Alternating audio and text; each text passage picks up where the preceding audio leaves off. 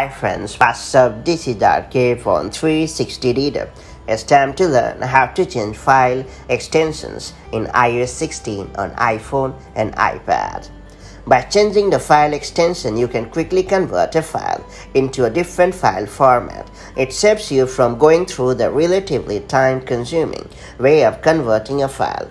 That's the reason why most file manager apps provide the option to edit file extensions. And with iOS 16, this long-awaited feature has arrived in the Apple Files app as well. With that said, let me show you how to quickly change file extensions in iOS 16 or later the right way. Before getting started, make sure you have subscribed our YouTube channel and hit the bell icon so that you won't miss any update from 360 Reader. First and foremost, open the Apple Files app on your iPhone or iPad. Now go to the file which extension you would like to edit. Then long press on the file and choose Rename in the pop-up menu. Then enter the new file extension and then hit the Done button at the bottom right corner of the on-screen keyboard.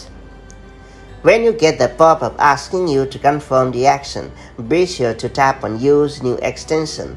Bear in mind that changing the file extension may make the file open in a different app. That's pretty much done. So that's how you can change the file extension in iOS 16 or later.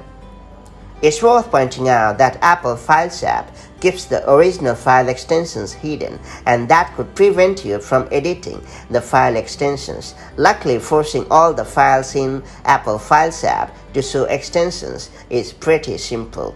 To do so, open the Files app on your device and then navigate to a folder or file and then hit the triple dot icon located at the upper right corner of the screen and choose View Options in the menu and after that select show all extensions and you are good to go. From now onwards, the stock file manager app will begin to show the file extensions. Thus editing extensions will become easy for you. That's all there is to it. If you found this video helpful, do like and share it and I'll see you in the next video with more such handy iPhone and iPad hacks. Till then, stay safe and have a great time. Bye-bye.